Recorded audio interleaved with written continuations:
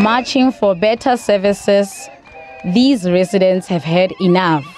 They say their demands are not being taken seriously and now want the mayor, speaker, and councillors to be removed. The disgruntled residents claim the municipality's council is failing to serve the community. We are going to make uh, this area of Pagwan uh, sort fun, uh, what, what is called this thing, uh, ungovernable, uh, to make a shutdown.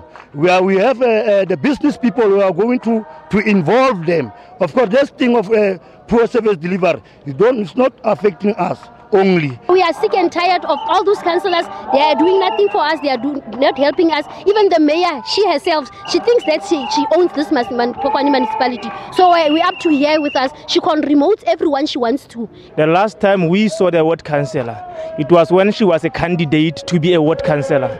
After, after the election, we never saw the ward councillor. Uh, the communities went to the ward councillor's house, whereby she told the community that she does not recognize or know them. These frustrated residents are tired of empty promises and have now sought the intervention of the ANC in the province. They complain about service delivery. We think they are reasonable. We addressed them. Uh, initially, they made a request of 72 hours, but we dealt with that matter, and you could see that they are quite understanding. It means that they're actually frustrated. Uh, the ANC has promised to meet all affected parties on Friday to attend to all the demands.